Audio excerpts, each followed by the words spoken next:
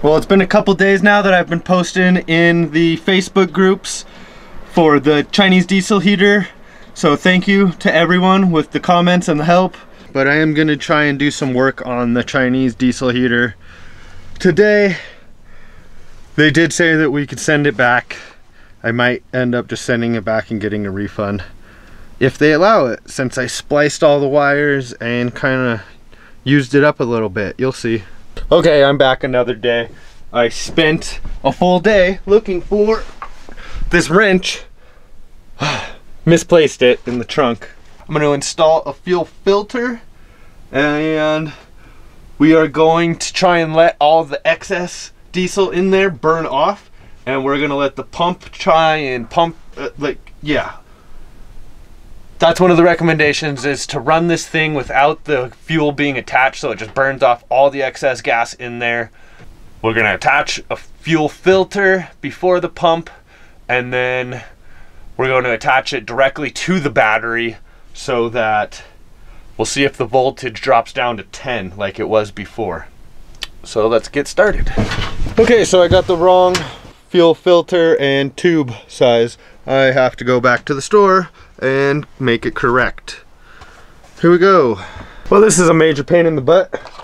Too small. Now we're going back to the store again to get the correct stuff. Okay, I just got back from the store. I got a new different filter and different hose and hopefully they fit. Let's try all this out. This is gonna be too small. Of course it freaking is, isn't it? Oh my god. Okay, I guess we're gonna go back to the store. Okay, third time back from the store. Hopefully this is the right tube. Let's get to it. Well, yeah, that fits on there nice and snug. Okay. Alright, it's on there, snug, snug. Now, this tank can just sit on the floor now. And, oh yeah, it's nice and snug on there. That's exactly what we want. Okay. And we're gonna burn off all the residual gas. Now we gotta set up the battery.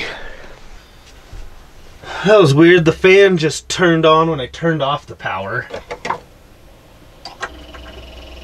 Yeah, why is the fan on right now? So weird. Just keeps turning on and off from the solar. Okay, heater's now plugged directly just into the battery. No panels or nothing like that. No fuse boxes. Just into the battery. Oh no. There's some kind of bus bar behind the battery. And I just dropped a freaking socket back there. No flipping way. No way. Oh no. Damn, that sucks. Well, there's forever going to be a half inch socket rolling around back there. All kinds of stuff we're going to find once we open this thing up. Heater's connected to the battery. Turn the lights back on. Okay, so now that I'm plugged in directly to the battery, one thing that we have to check is on the little screen. See, we're still getting 12.3 volts right now, just connected directly to the battery. And then once it started before, when it was connected to the bus bar, the negative, it was only getting to 10 volts while it was working. And so now I've got it all to where we're not gonna pump into the engine, we're just gonna burn off all the excess gas. We've got our inline filter all set up the correct direction. We're gonna pump into the water bottle for the excess gas that we're just pumping through. And hopefully we burn off some gas and get this thing working correctly. Okay, so it seems to be working.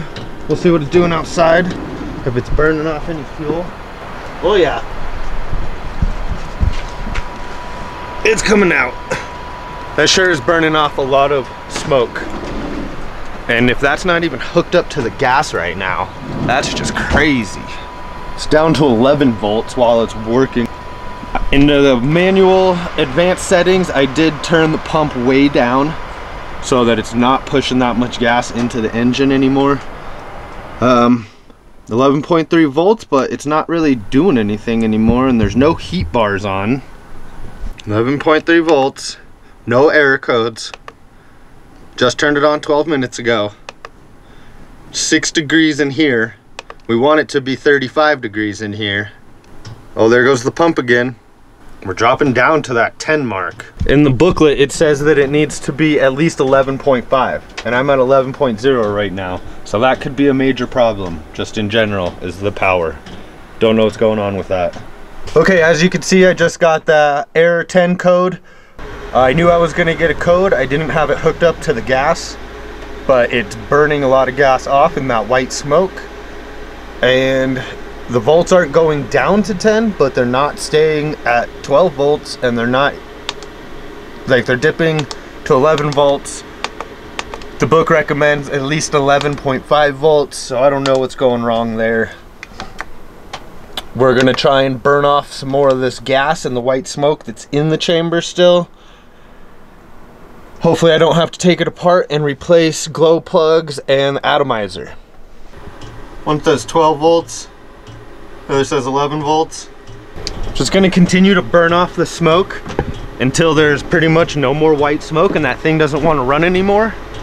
It actually looks like we're done with the white smoke. We might hook it back up to the pump. So it just turned off the pump itself. It doesn't seem to be burning any more white smoke from outside. So that time around, it just turned off on its own and no error codes. And now it's just going into a shut off cycle, but it only got to one green bar. I don't know what's going on. Try and turn it on one more time and see if we get any white smoke. If there's no smoke, we'll connect the pump back up. All right, so one thing I have definitely noticed is it's easiest to work with the remote. It kicked on, we'll see if there's white smoke. New filter, new hose. So I think our fuel line is pretty much dried out down to the, the actual heater. One more startup cycle, we'll see if it smokes. We'll see if it can get up past the green bar. All right, pump kicks on. And we drop down to 11 volts. 10.9, that's a bad sign. That's pretty low. But it says our battery's at 12 volts fine. 0.03 negative, I don't know what that is. That's amps. That's how much watts are coming in, zero. So we're almost, the solar's doing pretty good right now actually. I don't know what that means. 100% batteries, infinity hours because we got solar right now. And the volts of the battery, the volts from the auxiliary. I don't know what that means. How much volts we're pulling? It just started snowing. I got to show you this. Okay, third time around, we got the E10 error code, which says that the fuel is probably blocked. And yeah, I took the fuel off the pump, so that's right. But we're still getting a little bit of drip coming from the exhaust. And there's no white smoke coming out anymore. I mean, it's a lot better than it was, that's for darn sure. So we'll get the code cleared. I don't know how I get the code cleared, actually. I don't know how I did that before. Maybe it just goes away after it shuts down fully. So yeah, after it shut down on Air 10, I just let it go into shutdown mode. And now I just pushed on on the remote again, and it's just starting right up. We'll see how it goes. Hopefully we burn through all the white smoke and we can connect the pump and it works just fine. Keeping my fingers crossed. Okay, I got everything pretty much all put back together. Um, we'll see if it does a lot of white smoke. We'll see if it even gets to any heat bars. Let's hope and pray that it works. Okay, we got a green bar. That's a good sign. And it looks like the fuel is doing just fine. The air bubbles just hanging out. How much white smoke do we have? Oh, shit ton. And like that, I go outside and I come back in and it stopped pumping. No error code, but it doesn't look like it's on anymore. But one green bar. On. See, I can't push on. Maybe it's just heating up, hopefully. Fucking thing. Well, it sounds like it was just ramping up. That's uh, the warmest air I felt out of it for a while. Oh, and it just stopped. Off. No error code, just off. Oh, air 10. Air 10, same error code, but now we have the fuel hooked up. So hopefully it was just getting the fuel down into the motor And this next time around, hopefully it does heat up. I mean, like I was just saying, that was the hottest air I felt come out of it in a while. Man, this is getting frustrating. It was ramping up, doing just fine, sounding like it was doing good. And then it like stops ramping up and flashes on and just sits there, chills. So I don't know what the hell is going on with that. It still looks like there's some fuel dripping out of the exhaust, so there might be too much fuel coming out of this pump. I just want this thing to work. And now it just started to kick back on slowly again. Hopefully this time we can get up to some red bars. Get some full heat in this van. That would be really nice. I would love that. Oh, there's that 10 volts. I don't know why we're getting down to 10 volts. 10.9. That sucks. That could be a major problem. Is this battery too cold? Thanks for watching. Continue to watch. I got a lot of projects coming up and there's going to be a lot of adventures. It's just starting to snow.